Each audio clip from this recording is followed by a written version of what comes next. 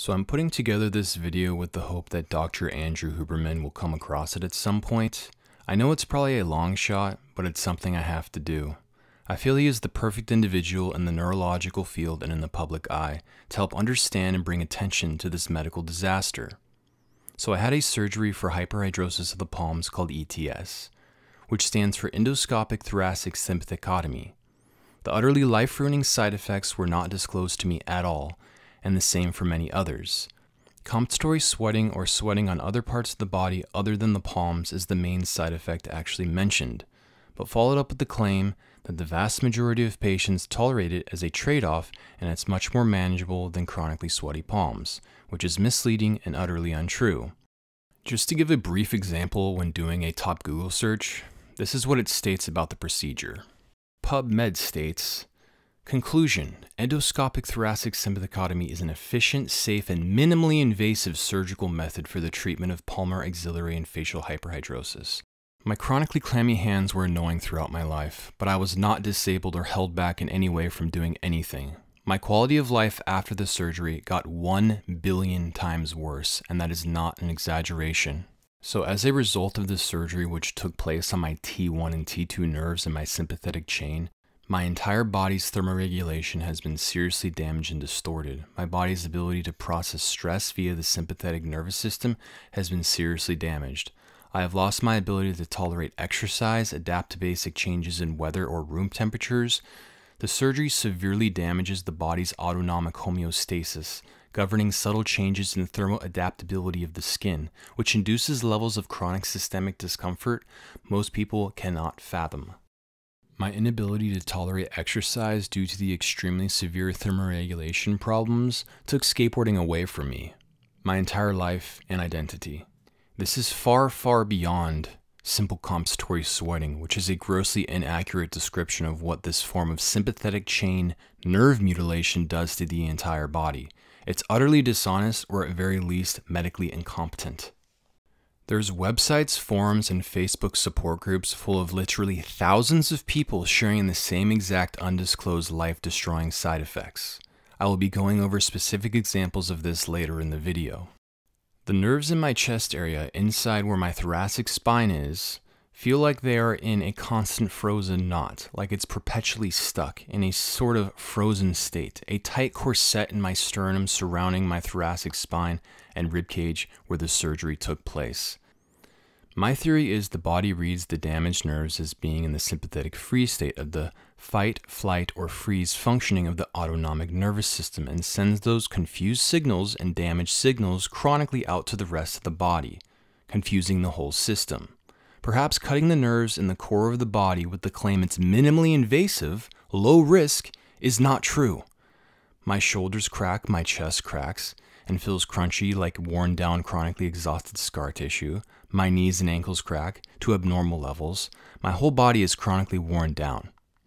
When the body's parasympathetic rest state isn't properly activated due to being trapped in a chronically dysfunctional sympathetic stress state, the body's ability to heal and relax with the rest and digest parasympathetic system is severely compromised. The autonomic system governs the mechanism of tension in the body, so intentionally damaging these nerves is it really a mystery as to why we are having perpetual tension radiating out from that area of the spine?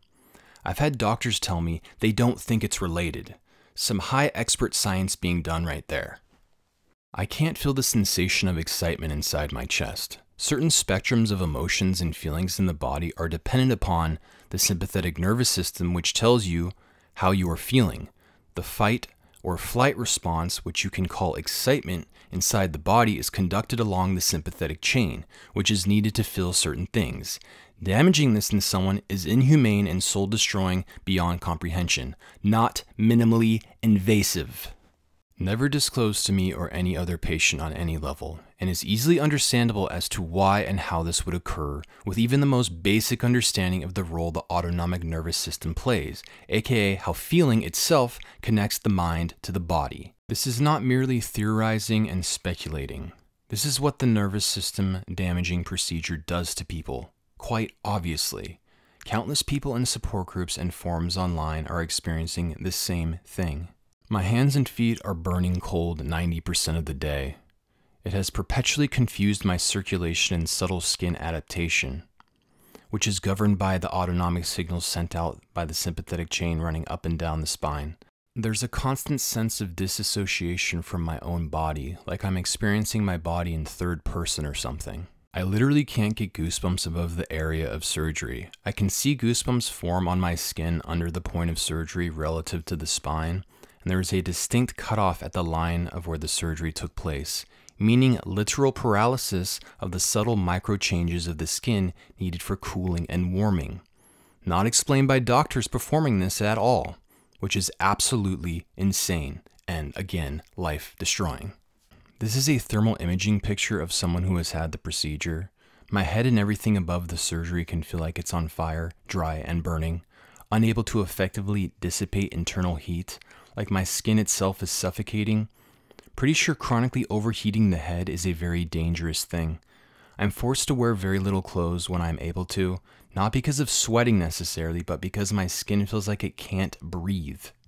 Here is a post from Dr. Andrew Huberman demonstrating the correlation between different emotional and mental states and the flow of thermoregulation throughout the body. The notion that the mind and body are separate is simply false. The nervous system bridges them both and they communicate in both directions to direct our states. States include emotions, but are a larger umbrella for emotional responses that include bodily responses too. States are also more objective to define. This is a heat map from a study described by the book The Neuroscience of Emotion. And again, severely disrupting these autonomic mechanisms in someone's body and mind is inhumane. Nothing even close to this is disclosed as the effects of the surgery. The so called success stories are largely from people following up immediately after procedure. If you were to have asked me if it were a success, a week later I would have been inclined to say yes, because yes, my hands did stop sweating. The damage to the rest of the body, though, through perpetual autonomic parasympathetic sympathetic dysfunction, gets much worse over time. What percent of people out there who've had the surgery develop symptoms down the line from a broken autonomic nervous system, go to the doctors, and then get totally misdiagnosed and aren't even conscious of what the surgery has done to them. A bunch of people join the support groups online years and years later and acknowledge it took them time to even acknowledge what ETS had done to them. I lost the ability to skateboard and exercise, which was my entire life. I was good too and would have gotten much better. A total and absolute waste. Skateboarding was my entire identity, and still is in a lot of ways. I'm chronically exhausted 24 hours a day due to chronic maladaptability of my autonomic nervous system. I have extreme sleeping problems because of how uncomfortable I am in my own skin. Temperature regulation is very important to being able to go to sleep. ETSawareness.org. What is ETS? Endoscopic thoracic sympathicotomy, also known as ETS, is a procedure that cuts, clips, or removes part of the sympathetic nerve chain in order to stop palmar hyperhidrosis, sweaty palms, or facial blushing. Many people that undergo ETS surgery report serious life changing complications such as the inability to sweat above the nipple line, causing overheating, severe compensatory sweating, sweating profusely in other areas of the body, back, and chest lack of body thermoregulation, which is by far the worst thing anyone can possibly ever imagine, mental and emotional issues due to the fight or flight response being interrupted by the disruption of the sympathetic chain, and pain or neuralgia in the affected areas. So, nerve pain in the affected areas and pretty much over the entire body when it's really bad. So, let's go over some of the stories shared by people on this ETS Awareness Org website and see what they have to say about it. So this dude from the UK, heat intolerance and my whole body constantly feeling overheated, including my face, which leaves me always looking and feeling flushed, lack of emotional feeling, for example, unable to even cry at funerals, hence the paralyzed autonomic sympathetic excitement response in the chest that I was talking about earlier, frequently feeling dehydrated no matter how much water he drinks, headaches, burning feeling, especially in the back, but also the stomach, chest, and legs, nerve pain all over, dizziness, often feel faint because of heat intolerance, even in mild to cold weather. So, isn't that nice and safe? This dude from South Africa says, I hope they eventually ban this operation. I'm 23 years old now, and I just want to live a normal life as a young adult. I used to be an athlete and enjoy the outdoors. Now I can't, no matter how hard I try. My quality of life was taken from me so soon by a surgeon that never disclosed any risks of the surgery. I am now dedicated to searching for a solution. The side effects I feel now are absolutely disabling. I have severe neurological pain throughout my body that is pretty much unbearable. I have been to doctors and they cannot seem to figure out what's wrong with me because it's neurological. It's very difficult to detect.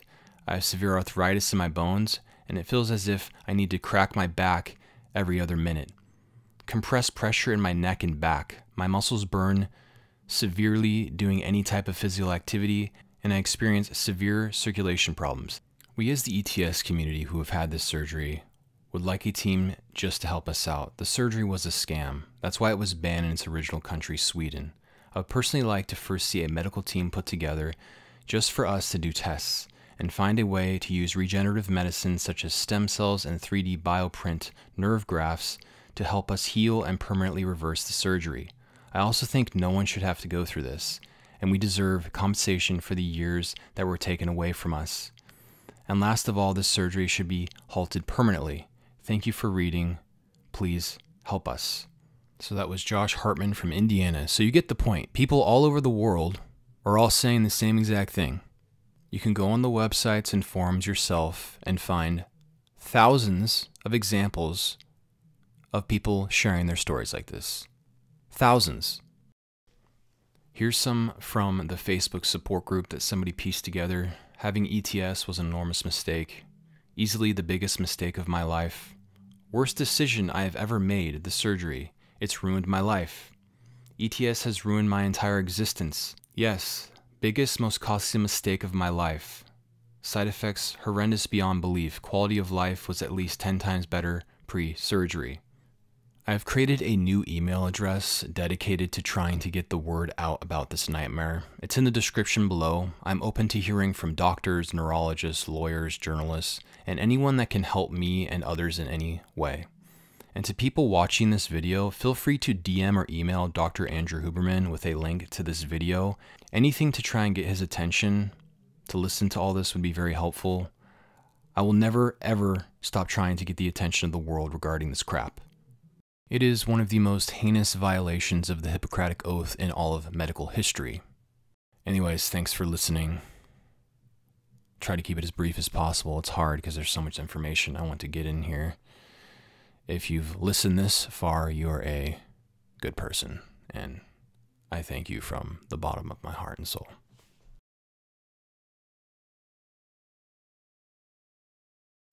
And maybe doctors performing this procedure should get this low risk, minimally invasive procedure themselves to demonstrate how safe it is, and then follow up a year or two later, and then we can get their real opinion on it.